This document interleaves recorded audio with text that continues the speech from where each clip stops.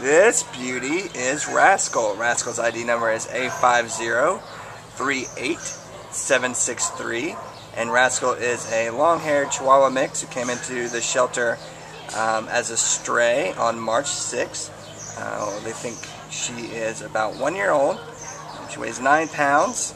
And um, it's just a really sweet little girl. She um, seems to be uh, a little bit intimidated by the shelter environment, so we haven't gotten a chance to see um, how she does on a leash as far as um, house breaking or anything, but um, she's just a really sweet, sweet girl. She's loved the attention that she's gotten from her handler since she's been out of her kennel. Um, she loves being scratched. Um, take a little look at her here. Oh yeah, she, she doesn't want me to give a closer look because she's busy giving kisses. Um, she has like this beautiful blue eye and beautiful brown eye. Um, it's kind of got a speckled mouth. Uh, really unique looking uh, dog. Really awesome girl.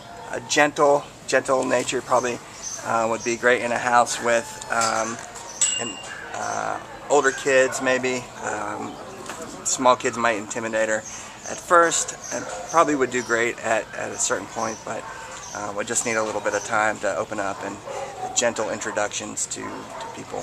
But uh, just a, a, really great girl. Uh, what else can we say about Rascal? She's a sweetheart. Yeah, she's, a, a an absolute doll baby.